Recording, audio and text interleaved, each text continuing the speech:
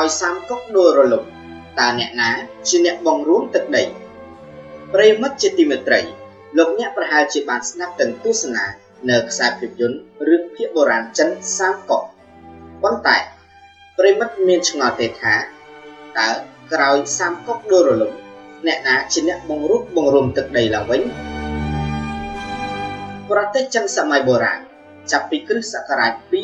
220ដល់280 ត្រូវបានបែងចែកជានគរធំធំចំនួន3រួមមាននគរឆាវី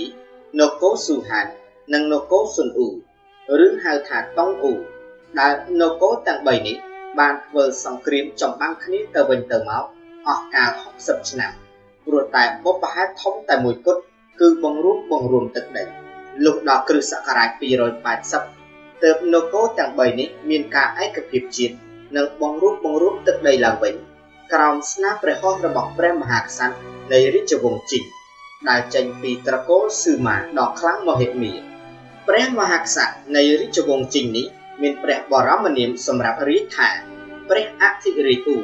ដែលមានឈ្មោះដើមហៅថាស៊ឺម៉ាយៀនស៊ឺម៉ាយៀនត្រូវបានប្រសូតឡើងនាគ្រិស្តសករាជ236នៅក្រុងឆាងអានដែលកាលនោះនៅជារាជធានីរបស់នគរវី ព្រះអង្គមានឈ្មោះហៅក្រៅថាអនស៊ឺដែលត្រូវជាកូនប្រុសរបស់ស៊ឺម៉ាចៅហើយត្រូវជាចៅរបស់ស៊ឺម៉ាអ៊ីសូមបញ្ជាក់ថាស៊ឺម៉ាចៅជាកូនប្រុសទី2របស់ស៊ឺម៉ាអ៊ីចំណែកស៊ឺម៉ាអ៊ីស្លាប់នៅគ្រិស្តសករាជ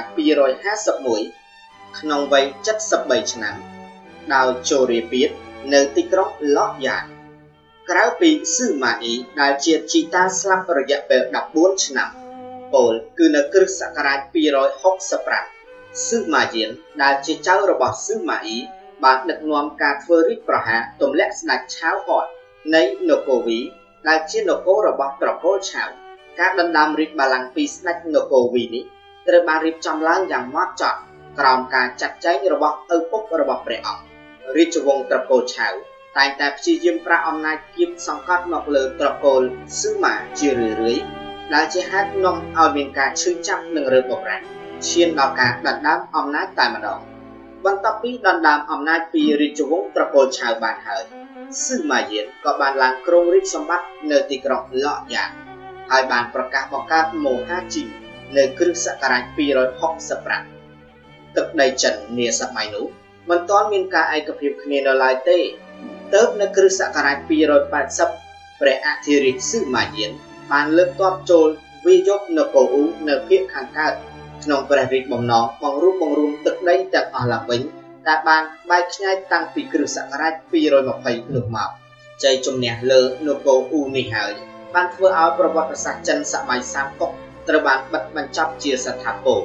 ហើយទឹកដីចិនបុរាណទាំងនោះក៏បានស្គាល់នៅឯកភាពជាតិឡើងវិញក្រោមស្នាព្រះហស្ថរបស់ព្រះអធិរាជអ៊ូជីងដ៏អង្អាចក្លាហាន ព្រះអធិរាជស៊ឺម៉ាយៀនបានយាងសោយទីបង្គត់នាថ្ងៃទី16ខែមីនាគ្រិស្តសករាជ290ក្នុងព្រះរាជវាំងក្រុងឡកយ៉ាក្នុងព្រះជន្មាយុ54ព្រះវស្សាហើយព្រះរាជបុត្ររបស់ព្រះអង្គក៏បានឡើងសោយរាជបន្តនៅក្រុងឡកយ៉ាងដដែលដោយមានព្រះបរមនាមថាព្រះអធិរាជមួយអំពីមហាជីងនៅប្រទេសចិនបុរាណ មានរាជវង្សជីងច្រើនចំនួនប៉ុន្តែរាជវង្សជីងនាសម័យនោះត្រូវបានគេស្គាល់និងចាត់ទុកថាជានគរជីងទី2រាជវង្សជីងនេះមានអាយុកាលដល់ទៅ155ឆ្នាំគឺចាប់ពីគ្រិស្តសករាជ265ដល់420អិសរជនសំខាន់សំខាន់ដែលចូលរួមជួយជ្រោមជ្រែងមុនការបង្កើតរាជវង្សជីងនេះឡើងរួមមានស៊ឺម៉ាអ៊ីដែលត្រូវជាជីតារបស់ស៊ឺម៉ាយៀន ស៊ឺម៉ាស៊ឺត្រូវជាអំប្រុសរបស់ស៊ឺម៉ាយៀនស៊ឺម៉ាចៅត្រូវជាឪពុករបស់ស៊ឺម៉ាយៀននិងស៊ឺម៉ាយៀនខ្លួនឯងនគរជីងខាងលើនេះមានការផ្លាស់ប្ដូររាជធានីដល់ទៅ3លើកឯណោះគឺក្នុងពេលព្រះអធិរាជស៊ឺម៉ាយៀនឡើងសោយរាជដំបូងព្រះអង្គបានតាំងរាជធានីនៅក្រុងឡកយ៉ាហើយក្រុងឡកយ៉ា ក៏នៅតែជារាជធានីរបស់មហាជីងរហូតដល់គ្រិស្តសករាជ311លុះដល់គ្រិស្តសករាជ312ព្រះមហាក្សត្រនៃរាជវង្សជីងបានបដូររាជធានីទៅកាន់ក្រុងឆាងអានវិញហហើយបន្តរហូតដល់គ្រិស្តសករាជ316ប៉ុន្តែនៅគ្រិស្តសករាជ317ព្រះមហាក្សត្រក្រោយៗក៏បានបដូររាជធានីទៅកាន់ក្រុងជៀនខានដែលជាអតីតរាជធានីរបស់នគរអ៊ូវិញ។